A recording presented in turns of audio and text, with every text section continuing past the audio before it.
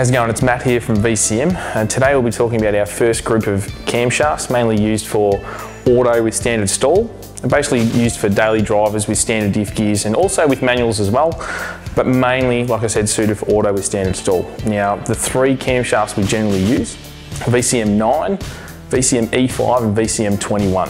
They all have very different idling characteristics. Generally speaking, the guys that you know, for the auto with a standard stall, they still want to be able to tell they do have a camshaft. Some guys also want to have that stealth sort of idle. Now with the three, the, the E5, we'll start with the middle one, that generally speaking is the most stealth out of the three. Now it's something where you know, guys, when they get it fitted to their cars, you know, whether it be auto or manual, it can be used either way. It has a very, very mellow idle, almost undetectable.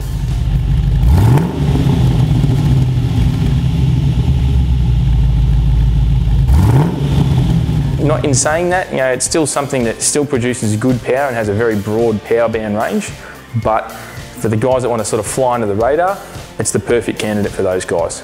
Um, like I said, still can be used with the standard diff gears and standard stallers and auto, and also same deal as a manual. You can still use like a 345 in a VE base or a 346 in a VT to VZ.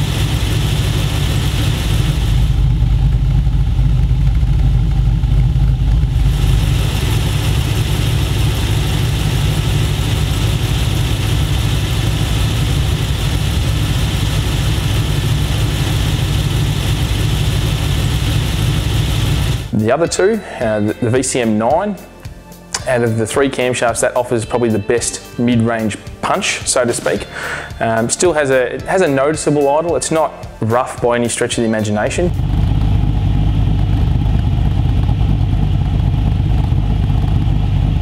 Um, but out of the three, that one provides the best mid-range performance. Still, not to say that it doesn't um, make any power in the top end, but you know, out of the three, you know, the guys that sort of want that mid-range performance in that you know, 2500 to 4500 RPM range, that's definitely the camshaft for those guys. Also, still suited with auto standard stall and also standard diff gears, no problems at all.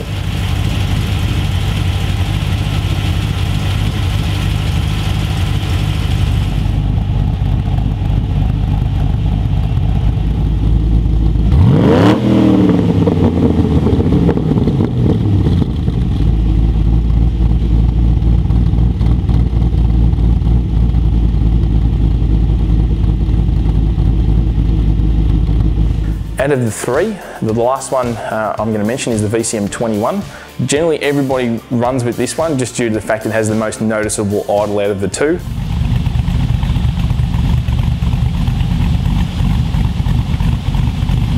Still can be used with standard stall.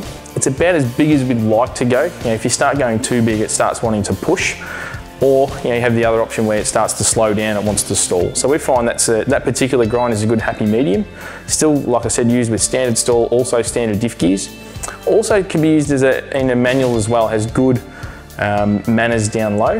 Um, and out of the three, that generally performs better in the top end.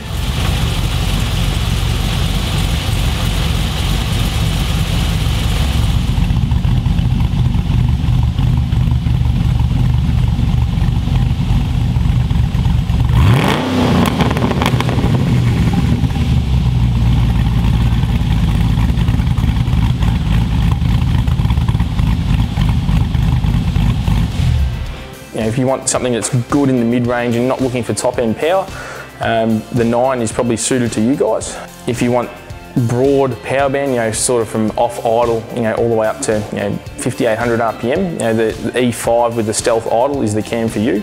Like I said, it's something that'll fly under the radar in most cars. You know, you can always get away with a standard exhaust, even you can almost tell it's got one. Um, but you know, for the guys that, generally speaking, when you fit a camshaft to a car, they, they want to be able to tell they have one. Uh, the VCM 21 sort of comes up trumps. We've used it countless times on VE, VT to VZ, 5.7, 6 litre stuff. Um, that generally, you know, most guys generally go for that one because it has the most noticeable idle.